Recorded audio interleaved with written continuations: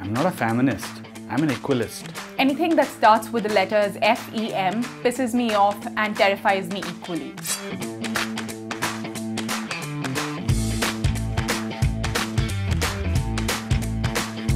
Wage gap is a myth. Men and women get paid equally. You know what? I don't believe in all the research that has been done to prove that there's gender wage gap. And you know what I'm going to do? I'll continue living in my privileged bubble.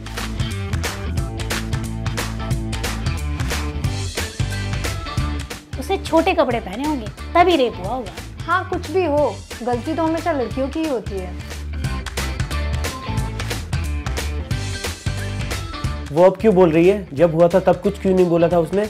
वो सिर्फ़ इल्ज़ाम लगा रही है attention पाने के लिए। भाई मैं तो वैसे भी औरतों पे विश्वास नहीं करता।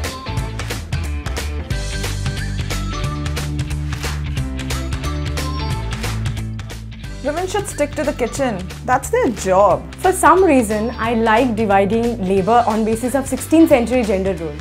So women stick to the kitchen at home.